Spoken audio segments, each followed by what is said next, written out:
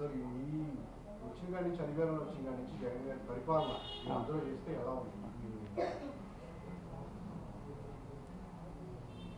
నాకు ఊహ తెలిసిన ఎప్పుడంటే ఎనభై మూడు నుంచి.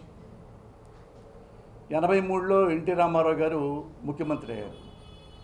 అప్పుడు నేను యూనివర్సిటీ జనరల్ సెక్రటరీని. ఆ రోజు నుంచి ఈ రోజు వరకు ఎన్నో ప్రభుత్వాలు దూశా. ఎందరో ముఖ్యమంత్రులను దూశా. వీళ్ళందరిలో వైఎస్ రాజశేఖర రెడ్డి గారిని తీసి మినహాయిస్తే వీళ్ళందరికంటే చాలా సమర్థవంతంగా పనిచేస్తున్నాడు జగన్మోహన్ రెడ్డి గారు. చాలా సమర్థవంతంగా. మీరు చూడండి అతి తక్కువ టైము అసెంబ్లీలో ఏం మాట్లాడుతున్నారో మీరే చూడండి.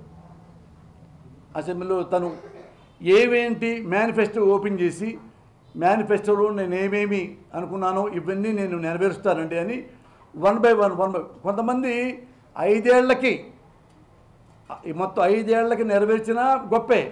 కానీ ఇప్పుడు నుంచే ఈయన పునాది వేసుకుంటూ వన్ బై వన్ చేసుకుంటూ ఒక్కొక్కళ్ళకు ఒక చెబుతూ ఎగ్జాంపుల్ పోలవరం దాని గురించి. పోలవరంలో కరప్షన్ జరిగింది.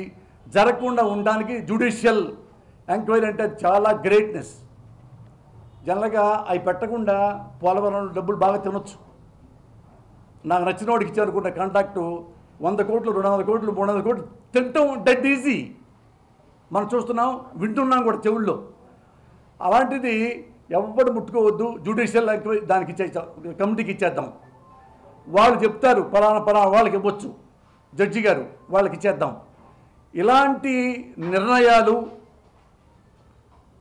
చాలా జెన్యున్గా జరుగుతున్నాయి. ఇవి నాకు నచ్చినాయి. ఒక్కడు కూడా ఇంతవరకు తప్పుడు నిర్ణయం తీసుకొని అబాస్పాలైన సంఘటన ఏమీ లేదు. ఉంటే మీరు చెప్పండి.